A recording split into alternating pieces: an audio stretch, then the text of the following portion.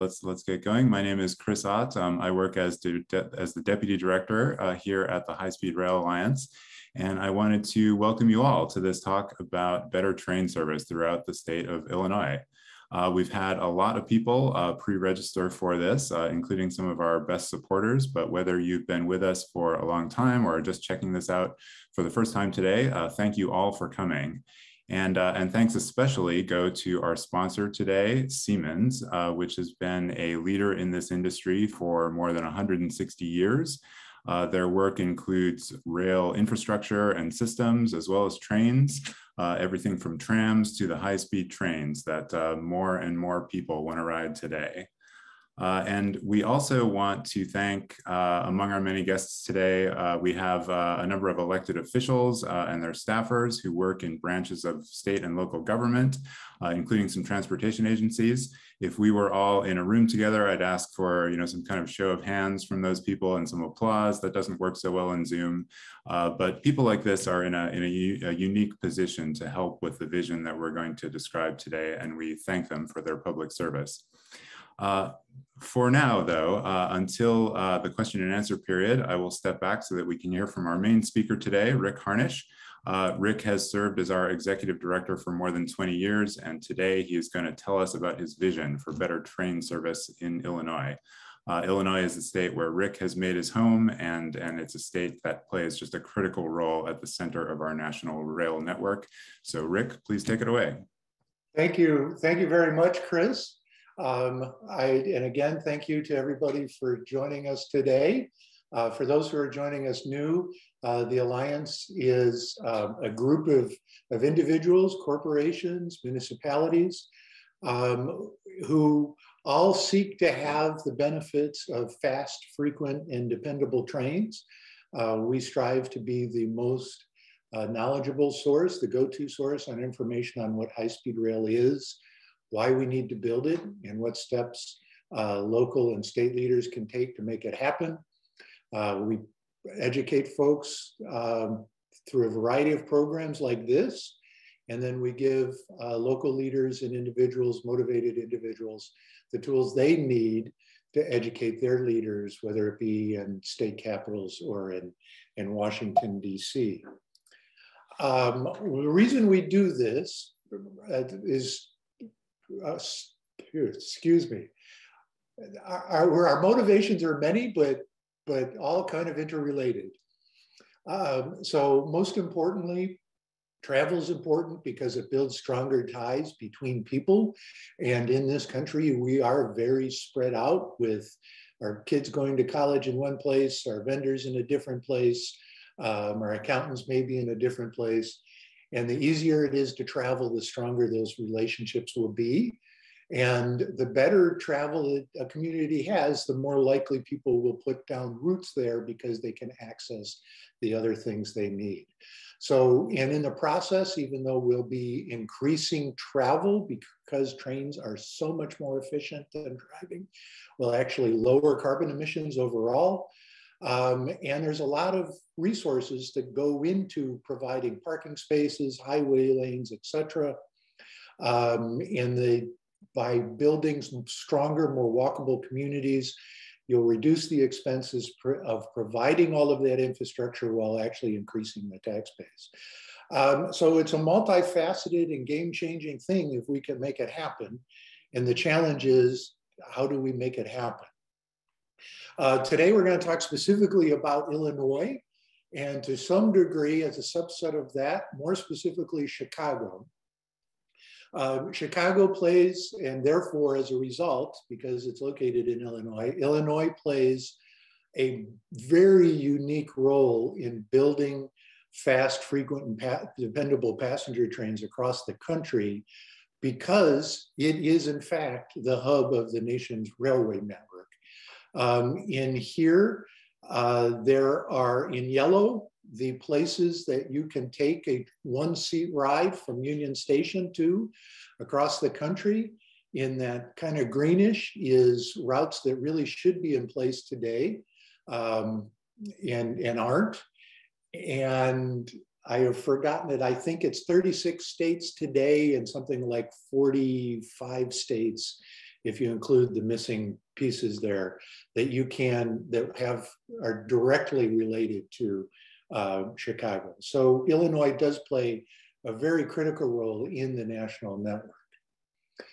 Um, the circumstances have changed dramatically in the last six months. So it, we used to be caught in a catch 22. Uh, states in the Midwest weren't being very aggressive about planning. Well, states around the country weren't being aggressive about planning because why pl plan for something that there isn't federal money for? And it was difficult to get federal money because the states weren't aggressively working on plans.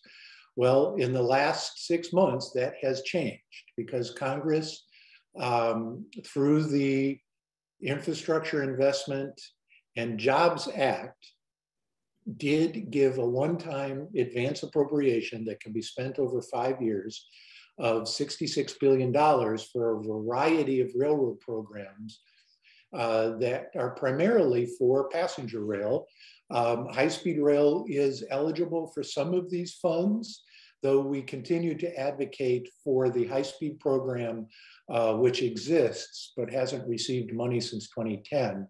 Uh, we're continuing to advocate that money be added into the high speed rail program, that money is specifically intended to go for high speed rail. But on top of that 66 billion, uh, Congress act, also, also authorized these programs for annual appropriations of just shy of 7 billion a year. And this is money that we have to advocate for on an annual basis, uh, but is there. So the point here being, we finally have a program that we can plan against and aggressively go after funding for, but we have to work together as a country on a national scale, regions, multi-state regions, and state in order to make sure that we continue to use these funds well, get the additional funds, um, and turn it into a program that lasts over time so we can both think about the long-term vision and be planning for the long-term vision and taking steps by that while also having immediate wins where we get people into trains in the next couple of years. And every couple of years, we do some sort of expansion that gets more people into trains as we're designing the big stuff that will be truly game changing. And again, just to emphasize, you know, there can be fish in the lake and, and Congress put a lot of fish in the lake, but if you don't work to go out there and catch those fish and cook them, um, it really doesn't matter. And that's the stage that the states are in now of we've got to go out there and, and get this money and get the projects implemented quickly that, that we get money for and also launch the big picture long-term planning that needs to happen. And I'm going to talk about how that kind of fits together in Illinois. Uh, but the essential thing is we need to do that. And in order to do that, the rail division in, I, in Illinois needs to get bigger. It needs to grow very quickly, both the resources that it has for doing planning, but also the staff it has for planning and implementation. And we'll talk a little bit more about that at the end. Um, so before getting into the specifics, I want to do two things. One is um, talk a little bit about the, the um, what high-speed rail is in terms of the bigger context in order to understand how this fits into the bigger Illinois picture. Two, give an example. Um, unfortunately, we have to talk about foreign countries when we talk about high-speed rail, so we'll talk about California as an example to lead to other things. Um, and then third, how these pieces fit together specifically in Illinois.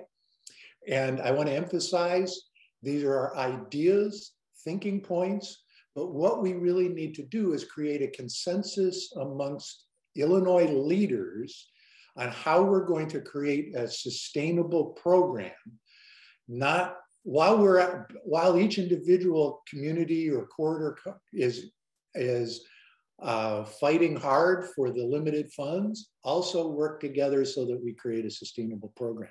So those are the three things we're going to talk about today. First, um, high speed rail, when done right, looks like a completely new technology from what we're used to with passenger rail in this country.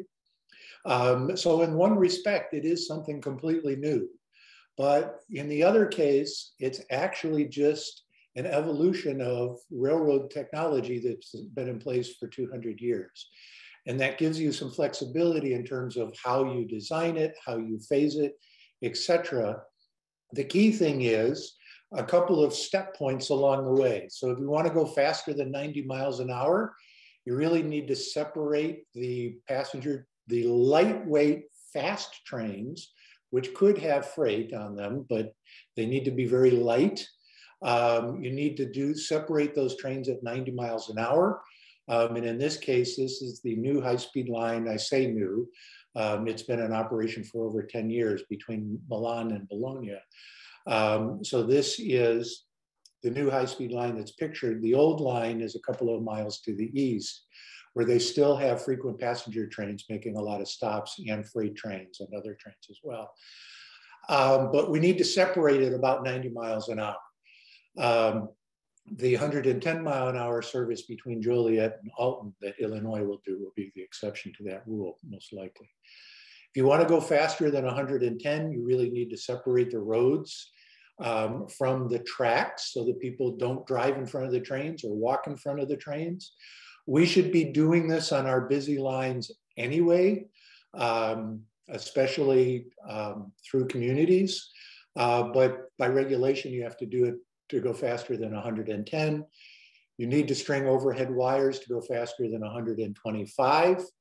Um, probably to go faster than 90, you need a separate right of way, uh, not necessarily. And fencings is always a good idea. So these pieces can be put together in different ways depending upon what your existing assets are and what your goals are um, in many different combinations. But to simplify the discussion, We've narrowed it down to shared use lines, um, which is what we think of mostly in Illinois today, where you've got uh, heavy freight trains sharing with passenger trains. This can work well with the right investment. Um, I, you know, I think BNSF and Metra would like to have separate rights of way, um, but the system does work very well between Aurora and Chicago. And that's because the investments were made in doing it right. And the challenge with long distance Amtrak service is that Congress just hasn't invested in the tracks to do that right. Um, but I envision about 80% of the Illinois network being on shared use lines. Regional lines is where you take a line, um, put it preferably in public ownership and really focus it on passenger trains. But it's an old line, the Northeast corridor between Washington and New York um, would be a regional line. Um, and they're planning on going 160 miles an hour in some segments. So probably government owned, but not necessarily. And again, if you want to go faster than 110, no highway grade crossings. Um, and then where the really game changing part comes in is building those new tracks to go 220 miles an hour. Some lines around the world today are being designed for 250. Um, most likely, these will need to be government owned, but not necessarily. Um, and the interesting point here is typically in Europe, the high speed trains go anywhere that there's electrified wires. Um, that's probably not a reasonable thing to think about here but certainly high-speed trains can use the regional lines to get into cities. So we don't have to build completely new into the cities. Um, it's really just out in the country that you're building completely new. So we need to have a long-term plan for Illinois to understand where we're going to do each of these pieces and at what time. Um, and that's a really critical piece. And I, I really want to thank um, Senator uh, Stadelman and Representative Moylan and Governor Pritzker for signing the bill that created the Illinois High Speed Rail Commission, so that which creates a forum for thinking about what that long-term plan is that mixes these three types of infrastructure to connect the entire state. Um, and you really do have to have a big picture plan because most of our planning for railroads has been point to point. Um, and that's a problem because you're only looking, like if you just look at Chicago and Indianapolis, there's only one opportunity to take that train. And there's been lots of studies, again, individually, um, of different routes, but none of them quite comes gets across the finish line because you're not looking at the whole picture. So if you think about the whole network, all of a sudden there's a lot more opportunities to use that network. And in this case, maybe the new infrastructure is from Chicago to Indianapolis, and you can justify it because you've got all of this other stuff feeding into it. And then maybe this is a bus line, maybe this is a regional line, maybe this is shared use. We don't know because we haven't done that plan, but you really have to think on um, a network level, not a piece by piece level to really understand how this works. And buses can play a really critical role in making that happen. In part, one way is by providing frequency in places where the, the infrastructure won't uh, support frequency yet, or getting into the smaller rural communities um, that once you've got the whole network working at a better level, now we can provide bus service into smaller communities than what we have, have today. Um, so that's kind of the overall view. The, you have to have this big picture view. You need to have a network.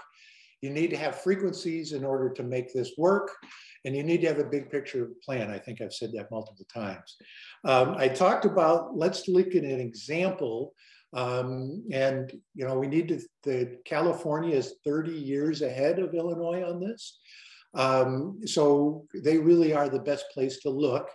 Uh, they gain a lot of attention because their actual building a high-speed line got a, off to a little bit of a rough start. Um, and, you know, there isn't consensus yet that it's a good idea.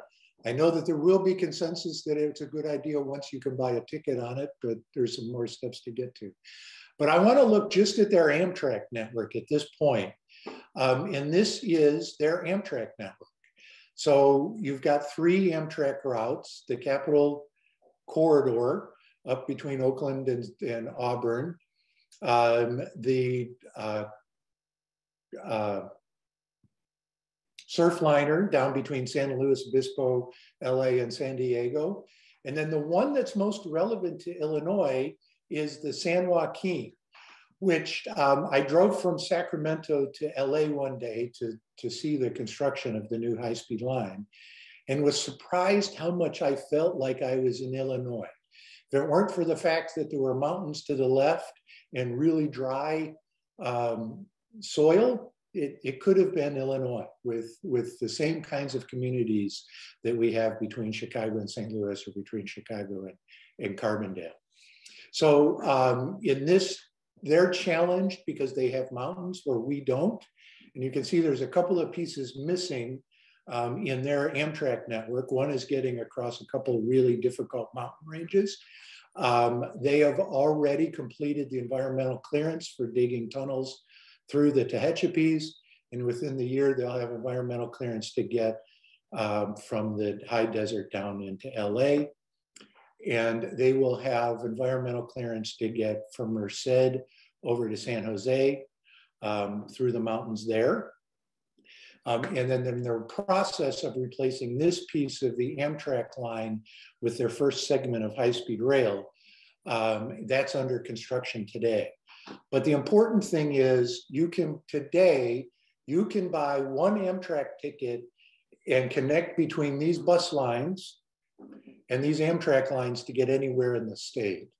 Um, and that's a critical first step. We could do a much better use of buses throughout the Midwest. And that's something we could implement in the next year or two. It's just a matter of contracting with bus companies. Um, the next piece is the frequency. So again, I talked about how Bakersfield to Oakland looks a lot like, um, and Dave, if you could turn your camera off there for, for a little bit. Uh, um, Chris, can you turn his camera off? Yeah, yeah, trying to do that. um, uh, Dave will be coming in to talk about what's happening in Springfield in a little bit. Uh, but Bakersfield to Oakland is about the distance of Chicago to Carbondale or Chicago to St. Louis.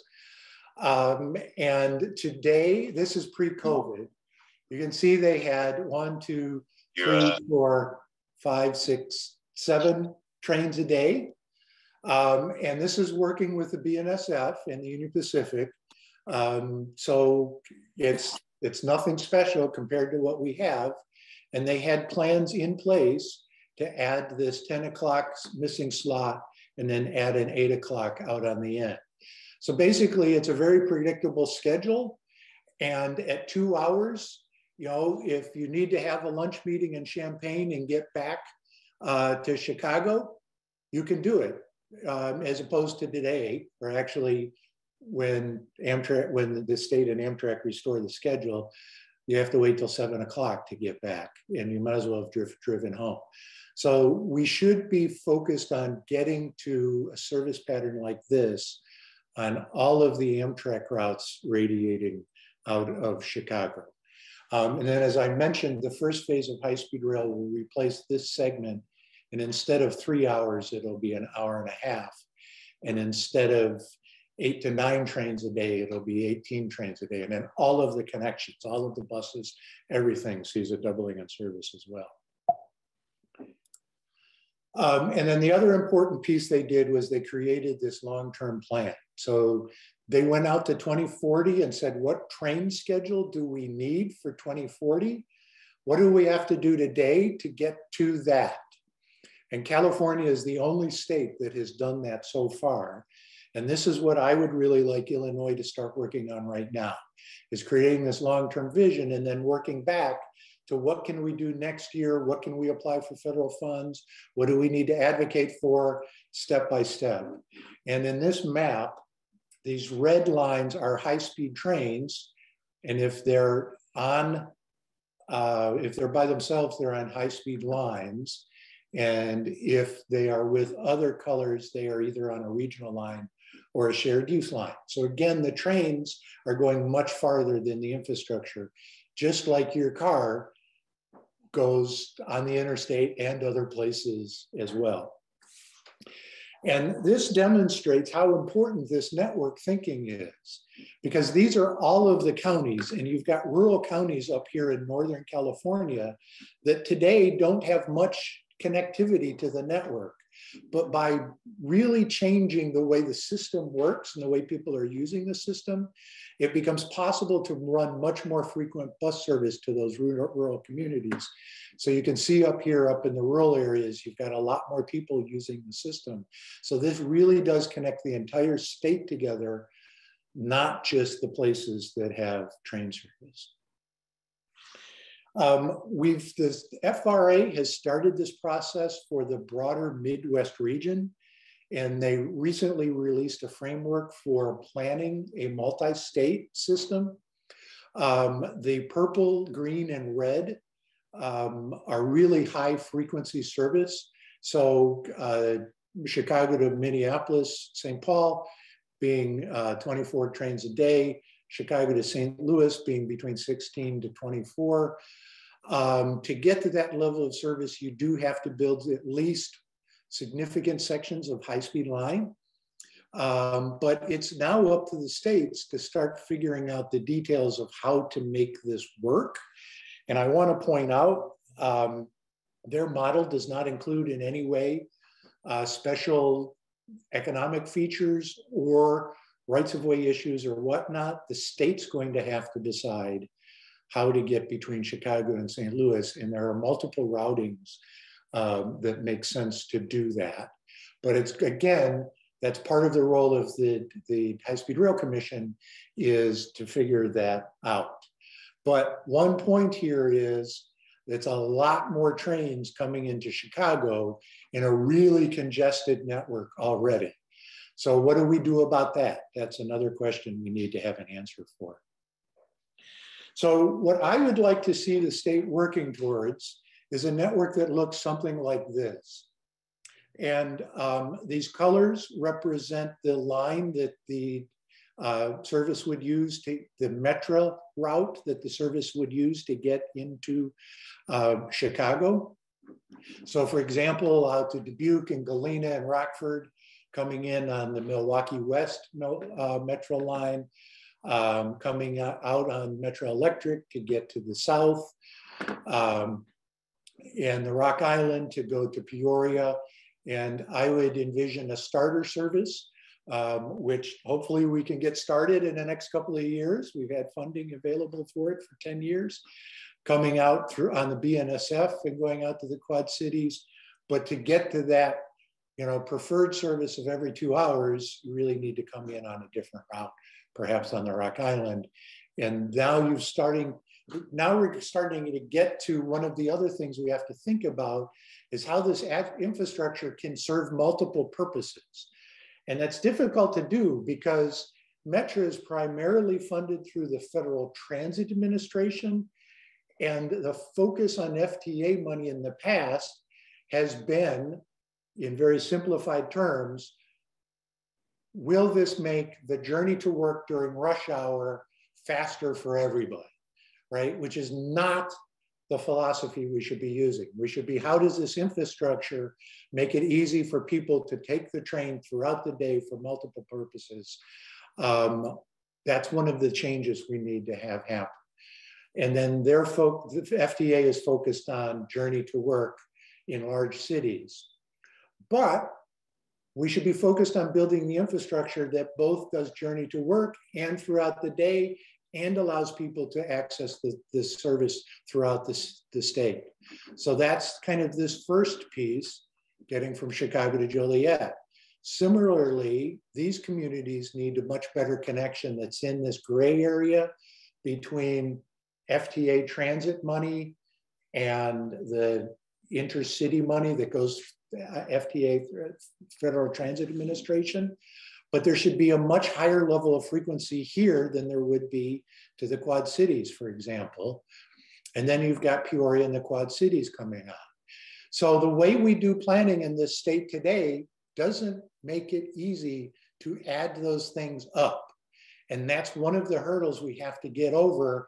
How do we add these markets up so that we can justify redouble tracking this perhaps, putting in high high volume signals, compensating CSX and Iowa Interstate uh, for the additional costs that they will have from that. How do we make the finances of that work? You can't do it in the current planning process, but we have to get there. Um, and so we've got all of these routes that should be working on that. And then the other thing is, where's this new high speed line going to go? Probably based on the right of way it uses Metra Electric or the uh, right of way to get to University Park.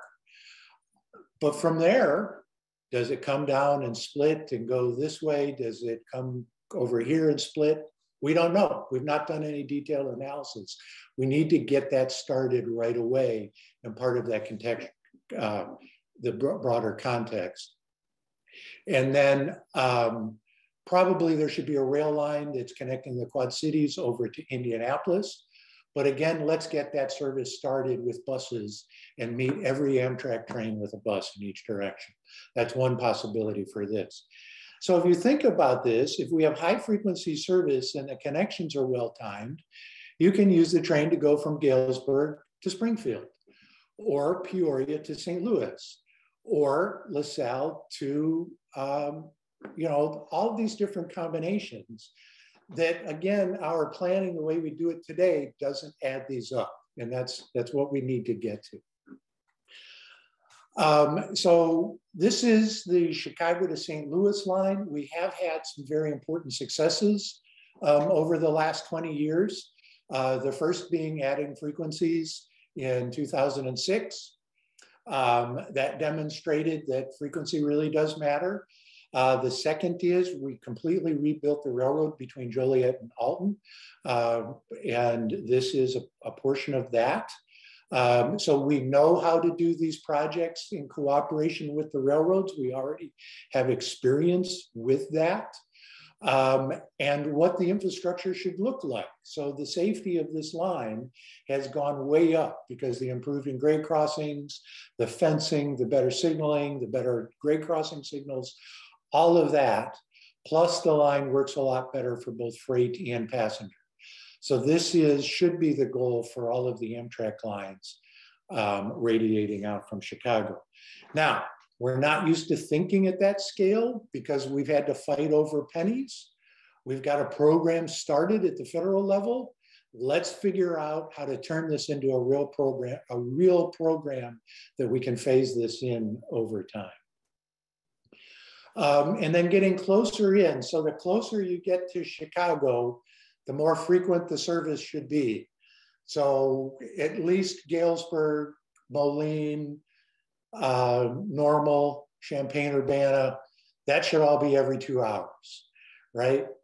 Closer in, we're getting into every hour. Within, and it's not quite this way, but to make it simple, within Cook County, it should probably be every half hour. And then within the city of Chicago, maybe every 15 minutes as you're getting closer into the city. Um, these, this is the basic metro network as it is today. Some of these lines are incredibly busy and it will be difficult to do that, but other of them aren't. Uh, but I just wanted to give some connection between those colors on the broader Illinois map and then how, how they're coming in. Um, and then there's a couple of key points that if we can connect these three points together, then that provides the connection so all of the routes coming in are connected to those three big traffic generators, and that's O'Hare, Chicago, and McCormick Place. Um, so how does this work? I talked about how Metra's money primarily comes through the FTA, and the downstate money primarily comes through the FRA, and it's very difficult to do these. Uh, but there is, there are a couple of examples of it working. working. One is the Northeast Corridor um, that has both FRA money, direct Amtrak appropriations, and FTA money going into the infrastructure there. I think more relevant to us is Caltrain between San Jose and San Francisco, where they took a line that several years ago um, looked very much like Metra today, um, they did a massive upgrade to it in the late 90s to get to much more frequent service with diesels.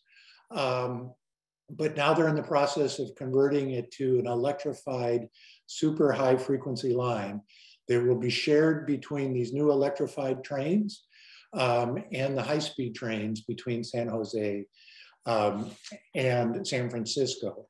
And because, again, they added those two uses together, they were able to put multiple pots of money together to make it work. Um, and this is the example we should be using to think about how we deal with getting the downstate trains into Chicago, getting much more frequent service within Chicago, and getting cross Chicagoland service so that you don't have to change downtown. Um, and then the other thing we need to do is look at our existing assets, and we've got a lot of them. Um, we do have some lines that aren't necessarily owned by the state, uh, but have little freight on them that can be upgraded. This one happens to be owned by Metra, a beautiful four track railroad uh, with some old signaling and old electrification on it. But if you upgraded it to modern standards, could really haul a lot of trains. Um, and this could be a, a, the building block for everything south and east of Chicago. Plus, you've got the CN next to it, which is where Amtrak is running today to Champaign, Memphis, and New Orleans, that we could do a partnership with, Cham with the CN for in various ways um, in order to use that capacity as well. But there's others. We've got multiple train stations. We've got other routes with no little freight service. So we've got um, the Union Pacific owned line to Kenosha and to Milwaukee that has the ability to be expanded and has a couple of trains on it every once in a while. So we could really focus on that for the funnel coming from Wisconsin. So let's get from seven to 10 trains a day on the existing CP route and think about how to expand from there. And people have a hard time thinking of that because they go to different stations, but I'll talk about that in a minute. And then you've got this beautiful line going to Harvard um, that could be put to much better use with much more frequent metro service and is pointed right at Madison um, and goes close enough to O'Hare to kind of be interesting for, for that service. Then you've got the Rock Island, which is owned by Metra and goes to Joliet does have freight on it, but is workable, and then the Metra Electric and the South Shore to South Bend. Um, and then I talked about these three key points, O'Hare, the Loop, and McCormick Place. And it is possible to assemble separate tracks for electrified trains next to the freight and diesel metro tracks so that you could have separate tracks linking McCormick Place through Union Station to O'Hare. We call that Crossrail Chicago. Um, that would be the thing that links the entire region together. So now it's possible to take a train from South Bend to O'Hare, from Kalamazoo to O'Hare, from Bloomington to O'Hare, and suddenly O'Hare becomes a much more attractive place to catch a plane to Paris, which means that the region is much stronger because we've got those better links internationally. Um, so that's one of the pieces of this puzzle. Um, to do that, a smaller piece of the puzzle is actually getting a station at O'Hare. This should be a top priority for the city, for the region, and for the state. Um, it is possible to do an interim station connected to the new parking garage they built. Kind of, this would be better than the not so good connection at, at Midway, much better, not quite ideal. Um, but on that, you know, let's do something today. Let's start running more trains to the existing station. Let's build a better station with a train every half hour and perhaps Amtrak stations. And let's today start planning the new high speed tunnel that goes underneath the terminals. And you come up out of the escalator and you're in the terminals. Uh, so that's one very important piece of it that's shared by the entire Midwest region, not just by Chicago. The second one is A2, um, and uh, in terms of the Crossrail piece, there's also an important um, uh, Metra piece of the puzzle uh, called 75th Street SIP on the south side. Uh, but A2 is really a critical crossing point for trains coming out of Ogilvie and trains coming out of Union Station. It affects multiple routes um, and really it's coming down to there's a consensus that these one of these there's these four tracks coming from Ogilvie and the three from Union Station. There's a growing consensus that the four tracks from Ogilvie should fly over what should be four tracks out of Union Station at this point. Um, so that's a big piece of the puzzle. And then as part of that, you could also build a new station at Fulton Market um, which should be a top priority about where that train is, is located. The next piece of the puzzle that's critically important um, is adding a tremendous amount of capacity at Union Station, improving the, the safety there um, and the experience actually getting on a train.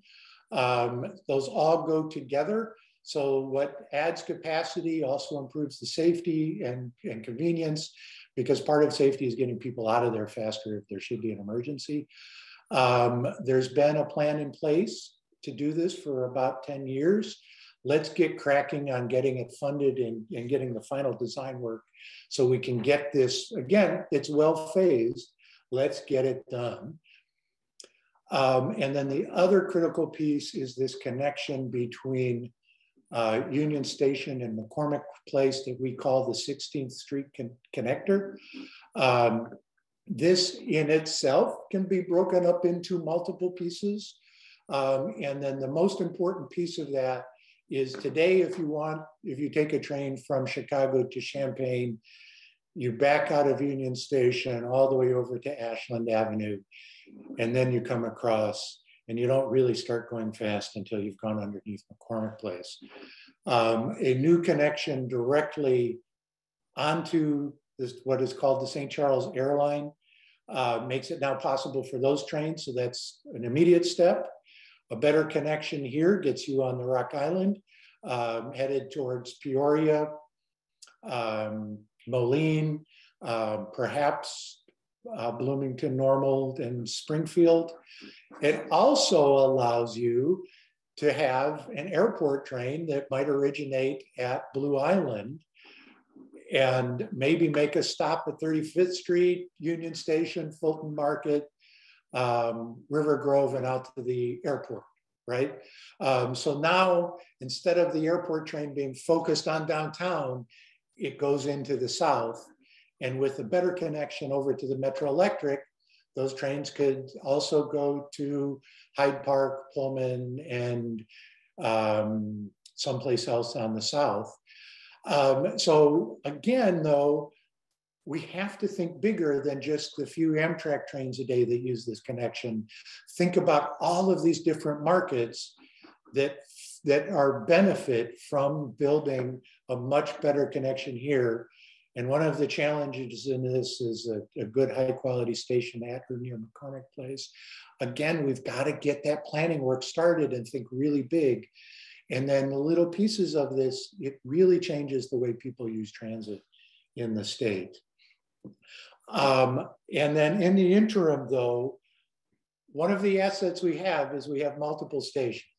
So the routes that have little freight on them tend to not point at Union Station. So before we build these connections, maybe we just start running more trains. And maybe we have uh, work with the CN to add uh, the second main back in, which due to bad federal policy was taken out in the 80s. Put that back in and run a train every two hours from Champaign to Millennium. It's an idea. I don't know that's what the consensus would be, but certainly I'd much rather have a train every two hours than just three poorly scheduled trains that, that go into Union Station.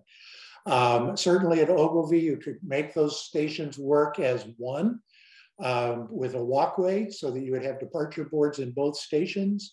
And maybe you have hourly service to Milwaukee and the one o'clock train to Milwaukee leaves from Union Station and the two o'clock leaves from Ogilvie. It's an opportunity we have. Nobody's done any design work to see if it's feasible or not. But to kind of make the point, I overlaid the terminals at O'Hare over the existing terminal complex in Chicago, and they're not that much different in size. So if we could figure out how to make it easy to walk from LaSalle Street to Union Station and figure out how to do undo the damage that was done when they tore down the head house in LaSalle Street in the 80s, maybe this becomes a way to add station capacity quickly. I don't know. We should be looking at that. So I, I dumped a lot on you quickly. Um, I just wanted to get to a philosophy, throw out some ideas because we need to start thinking much bigger. We need to start thinking out of the out of the box. What ideas can we use? How can we use our existing assets? We need to do this on a consensus basis across the state. That's going to be a challenge, but we've got the tool of the Illinois High Speed Rail Commission to do that. Um, uh, we do have a uh, uh, a little bit of a, a more in-depth overview. Uh, it's still in very much in draft form. So if you find mistakes or have suggestions, please let us know. But if you go to hsrail.org slash Illinois, a little bit of uh, more in depth on what we were talking about today. And there's also a petition you can sign um, so that not only can you add your voice, but that list we're looking for ways that Illinois can make some immediate progress in the next year and have a huge success, and even in the next two years.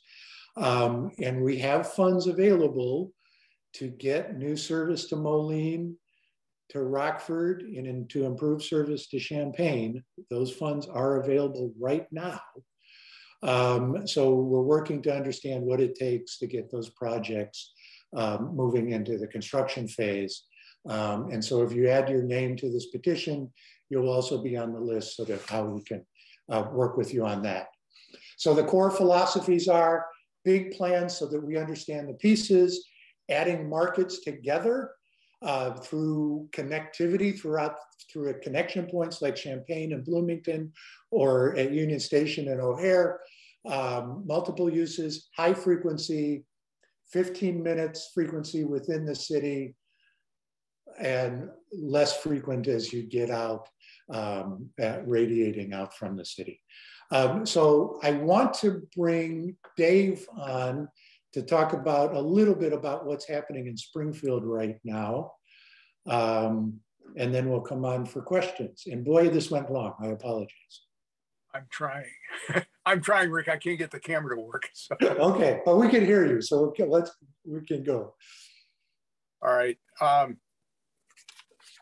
we are really writing on in Springfield. We're writing on the success of the bill last year that Rick mentioned early in his speech that uh, sets up a high-speed rail commission.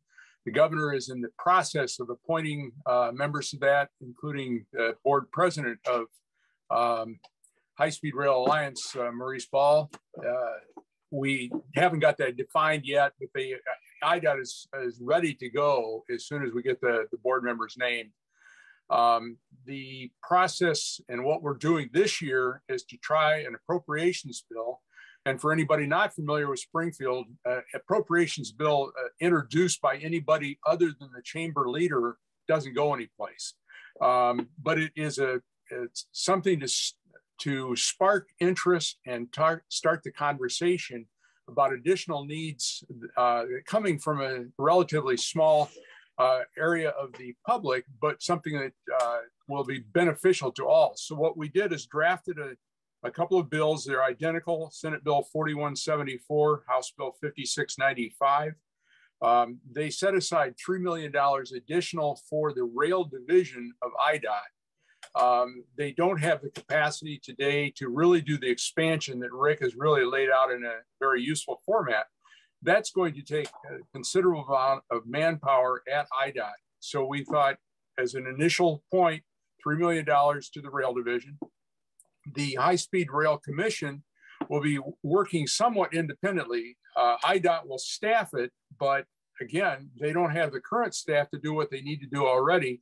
So we put $5 million in, into the High Speed Rail Commission, and that will probably include money to the uh, to do the statewide uh, passenger rail plan that looks not only at high speed rail, but everything from uh, Metra and CTA to St. Louis's uh, uh, Metrolink uh, to all of the public transit in smaller cities that would be served by passenger rail also um, 5 million and much of that will probably be a contract probably with the University of Illinois College of Engineering.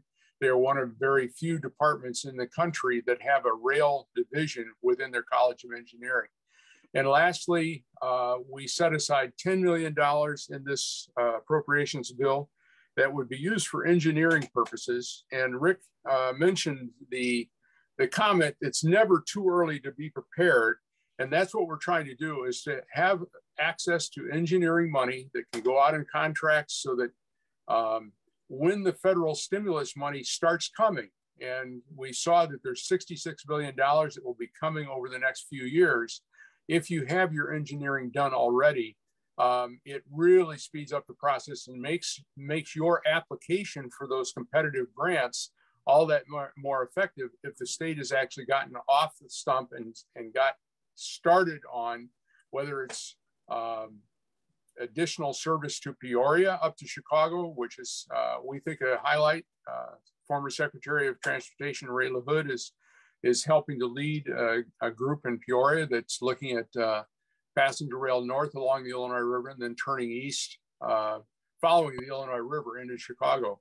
Um, these are uh, projects that add impetus, they add momentum whether it's construction on the Rockford uh, right of way, whether it's getting the, the uh, plugs started on the Quad Cities um, passenger rail. These are all things that when one success is found in one city, it builds throughout the state. And that's what we're trying to do and be ready to support um, through the engineering dollars, all of these efforts that we're doing around the state. So that's kind of an update on Springfield. I'd be happy to answer any questions at the end. Excellent. Thank you very much, Dave. Um, I was looking through the questions real quick, um, and there was a question about the Illinois State Rail Plan. Um, and the state rail plan, the official plan today, has a very, very long and comprehensive list of proposed projects, including a new 220 mile an hour high speed line. um, Lincoln, Chicago, Champaign, um, Springfield, and St. Louis. Uh, there's that map that I showed of Illinois. There are aren't not everything is in there, but 90, 95% is in there. So what we're asking the state to do is start doing design work and start understanding how those pieces fit together in, in a feasible way, as opposed to having a, a list of, of projects. Um, and then there was another important thing that I saw I want to make sure I get to. Um, I don't remember who it was, but I want to be very clear. Um, cities like Macomb really depend upon these trains. Um, and today there are two trains a day. Um, and then that's in part because of a coalition that we helped to lead and that our members were very successful in gaining additional funds to double the service to Macomb. Um, it should be more frequent than that. How we get that, we don't know yet, but certainly, um, uh, and that's uh, that's very important. And then places like Jacksonville, where there should be a high quality bus connection between Quincy, Jacksonville, and, and Springfield. And those buses work better if there are trains to meet them so that you've got more volume in the system. Um, and Henry Mason has asked, uh, does any know why, know why they can't just swap the metro routes? Um, and it's because there will still be a lot of trains that have to, to cross there because of the desire to get trains from the east and the south to O'Hare and, and to the north. Um, so uh, I kind of took it, we're getting close to the end. Um, I, uh, I'll give it to Chris for questions. Don't feel like you have to stay past one o'clock. So I'll do the official uh, thank you for coming. And, and if we were uh, in, in, uh, in person, you would, you know, say, if you want to go, go. Uh, but we'll stay until, um, until the questions start petering out. So Chris, what questions do we have? Yes, uh, thank you, Rick, and thank you, everyone. Again, um, we have a, a, few questions, and if, uh, if people still have others, there's still time to put them in. Um, uh, first of all, uh, there were a couple of uh, people interested in getting the Senate and House bill numbers. Um, I might have missed those. Do we, if we have those, could we get those again? Yes. Um, Senate Bill 4174 and House Bill 5695 and I would mention that any contact that uh, people on this call make with their senators or representatives, uh, it's amazing how how often bills are brought up that have no contact from constituents of the senator. So even one or two calls from uh, constituency really does make a difference in their awareness and their their knowing that it is important to their constituents. Senate Bill 4174, House Bill 5695. Great, thank you, Dave. Uh, we also had a question about um, the making these slides or the presentation available uh, afterwards uh, to attendees. And yes, I believe everyone who is here should get an automatic email afterwards that will have a link to a recording uh, that we make uh, as soon as that become available becomes available. But just in case that doesn't happen uh, as planned, you can go to our website anytime, hsrail.org slash events and we have the recordings of all, all, the webinars that we've done over the past year and a half or so there. So uh, you know, usually it takes a day or two to uh, to you know get it uh, posted there, but uh, it, it, will be there. Um, moving along to some other questions. Um, uh, is uh, this one is uh, uh about Crossrail. Uh, is, is Crossrail already on the agenda of the city uh, and relevant agencies? and if not, how can we make that happen or do more to make that happen? Um, so Crossrail is not on the agenda the way we wished it was. We were hoping that the state would have done the the uh, planning in time to apply for funds the next time the federal funds came available. Um, it is listed as a potential project, uh, but not funded in the um, long range plan of the local MPO. Uh, the key is um, uh, right now to large, well, IDOT needs to hear about all of these things. Um, but in terms of Crossrail, you kind of get narrower down. In addition, uh, the city, uh, so the mayor and the county uh, both play really big roles. Um, so getting the county and the city aldermen involved is very important. Great, thanks. Um, we also had a question from uh, Thomas Dorsey. Um, essentially, was, was money allocated for high-speed rail outside the Northeast? So um, one of the pots of money, actually two of the big pots of money um, for outside of the Northeast uh, are eligible for 186 mile an hour high-speed rail.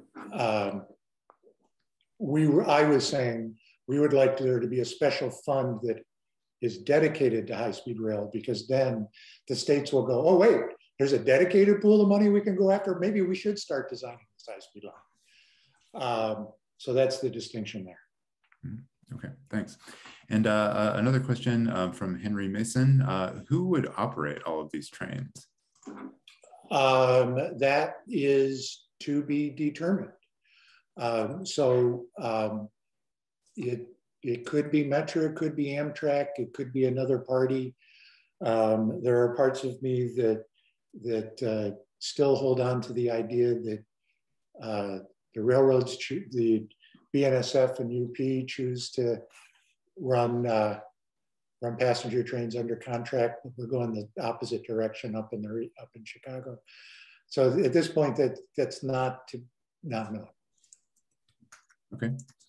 Uh, here, uh, you know, Rick, in the in the course of your talk, you talked about you know some of the uh, the, the corridors that are, are available uh, and you know owned by different uh, different uh, different companies. Um, and and I guess there's a there was a comment in the chat from William Patterson that I wanted to give you a chance to respond to.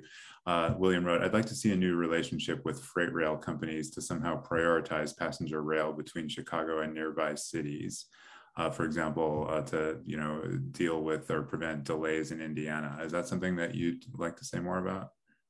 Um, so it's to, so probably the most important project between the mountains um, is actually what's called the South of the Lake Reroute. Um, that would go from Chicago to a point in the country, um, probably 100 miles east of Chicago in northern Indiana someplace. And then there are routes from Grand Rapids, Lansing, Detroit, Toledo, Cleveland, um, Columbus, perhaps Indianapolis, South Bend, all would funnel into that new dedicated passenger only main line, preferably that has curves that can go really fast and electric wires, et cetera. Um, so that's probably the most important project between Harrisburg and Sacramento. Um, the problem is who owns it? Which agency goes after it? Um, and that's, it's a real toughie. Uh, so I think that's the question that was being asked. Okay. And uh, here is a question from Samuel Traxler. Uh, should there be, you know, we, we talked about uh, O'Hare, um, but what about um, Midway? Should there be express rail service, either Metra or high-speed rail or, or some kind of uh, train service to Midway? Yes, there should, and it's a whole nother kettle of fish. Oh, that's in those out years, in the 2040, 2050. But yes, absolutely, there should be a high quality train to Midway. Okay. I think uh, unless I missed anything, and if I did, you know, please send up a flare. But um, I think that uh, between the questions that Rick took right away and the ones that I brought forward, I think that we've covered them all. Well, here's an interesting one about Peoria. So um, let me go back to this map if I can. So this is part of that doing things in phases and, and thinking about your assets and different ways to use them. But for quick start service, the state worked with BNSF to add capacity up in northern Chicago and capacity at Galesburg in order to run the two trains a day from the Quad Cities up to Chicago. And at the beginning, that seemed like a great way to get the service started. Uh, the challenge was it's for the amount of money that it's going to take to actually do it that way, it's not quite worth it for just two trains a day. Um, and as we've pointed out, we need to start thinking about a train every two hours. So what I would do if I were king, and this is my opinion, it's nobody else's opinion but mine, is let's get those trains started as soon as possible. In which, which way did it go? Going this way, right? And let's get that going. But immediately then think about how we do Peoria, Moline, and I would even add Cedar Rapids into this as a first starter, and rebuild all of this. And it's going to be expensive, very expensive. It's going to take close cooperation between Metra, Iowa Interstate, and CSX. We get that. It's worth doing if you add all of these up. Um, let's get that started now in terms of the planning work. And when that gets done, these two trains a day, and I'm sorry the cursor keeps moving it, instead of going to Quad Cities, maybe they go down at least as far as Galesburg, at least not all to Quincy, all, hopefully all the way to Quincy. Um, so that's a way of taking investments and using them in different ways over time. So that's a, we need to start thinking that way about a lot of different things. What can we do today that gets one thing started and maybe it leads to something else later? Great, thank you. And um, we have uh, one more question about the uh, freight railways uh, from Ryan. Uh, regarding the question about the relationship with the freight rail companies, what about the idea of simply paying more per mile? Is that a reasonable idea to promote? Um, absolutely. And I, I have one, if somebody wants to give us, I don't know, a research grant, I would like to do a paper on, well, what are the economics? So we know that faster, more frequent trains will bring, bring more passengers and those passengers will be willing to pay more. How do you use that to justify paying more per mile to the railroad to run the train? I think it's something that somebody should look into. If somebody wants to give us a grant to do that, we'll, we'll have that project done in a year. Um, so uh, anything else? I don't think we have any more questions. Okay, going once, going twice. Um, so, um, you know, this takes work. It's all about connecting people. Um, so we are a group of connected people. We're not an organization that's that's living in an office in Chicago or in a bedroom in uh, Madison. Um, but it takes time and effort to connect those people. So um, we need folks to support this effort. Um, please go to our website, hit the donate key. We want to ramp up very quickly. Um, and we've got some exciting stuff happening right now. So that donate button is critical. Uh, go to highspeedrail.us and click the donate button if you love this program and what we're doing. Um, thank you very much for, for joining us. Thanks, everyone.